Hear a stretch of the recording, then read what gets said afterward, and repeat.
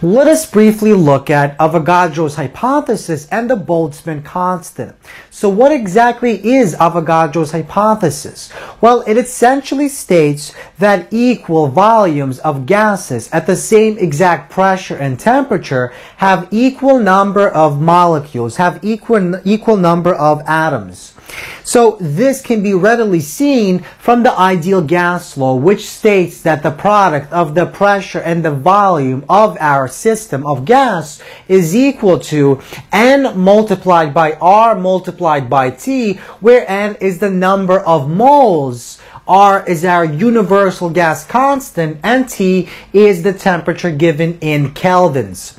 Now, if we want to, we can rearrange this equation and solve for N, the number of moles. N is equal to PV divided by RT.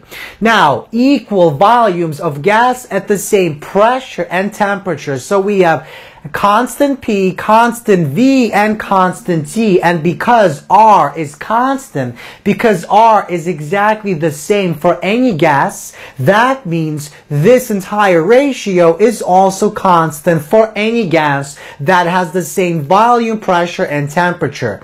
So that means the number of moles is the same. Now recall that the number of molecules in one mole of gas is exactly the same. And that means not only is the number of moles the same, the number of molecules is exactly the same as well. So once again, equal volumes of different gases at the same pressure and temperature have equal number of molecules and equal number of moles.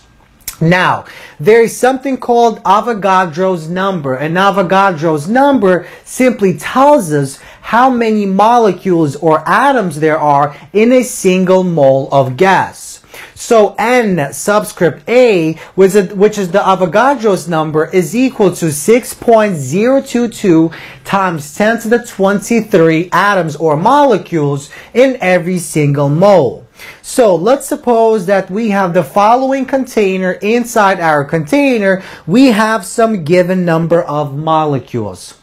So, if we have n number of molecules in our given system, then we can determine the number of moles of gas in our system by using the following equation. We take the total number of molecules of gas in our system, we divide that by the number of molecules in any given mole, so we divide n by Avogadro's number Na, and that gives us the number of moles of gas in our system, that gives us N. So, the ideal gas law can now be rewritten in the following format. So if we take this equation and combine it with this equation, we get the following result. So we basically replace n with capital N divided by n subscript a. So n is replaced with this, and we have the following rewritten ideal gas law. The pressure times the volume of our gas is equal to the number of molecules divided by Avogadro's number multiplied by the gas constant multiplied by the temperature given in kelvins.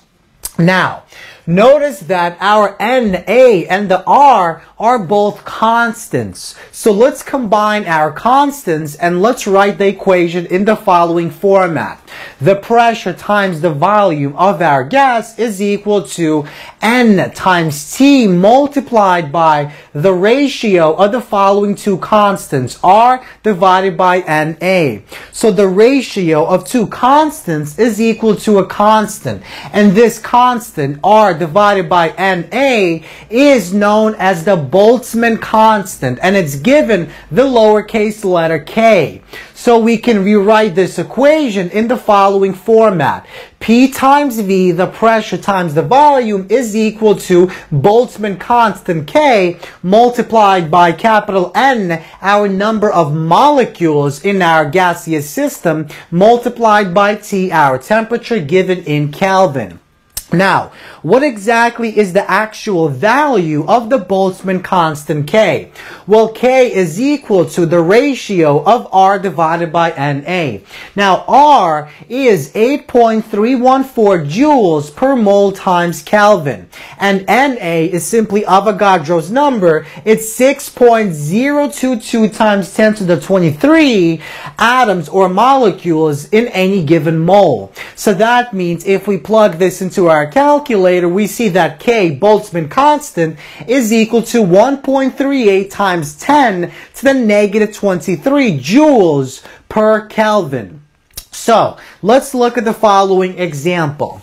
Find the mass of an oxygen atom. So, to find the mass of an oxygen atom, we have to use the periodic table. If we look at the periodic table, we'll see that in a single mole of oxygen, there are 16 grams. So 16 grams of oxygen are found in one mole. So to calculate the number of grams in one atom of oxygen, we have to do the following uh, multiplication. So 16 grams per mole multiplied by 1 divided by 6.022 times 10 to the 23 atoms in any single mole. So the mole goes on top and notice the moles will cancel and we're left with 2.66 times 10 to the negative 23 grams in any atom of oxygen.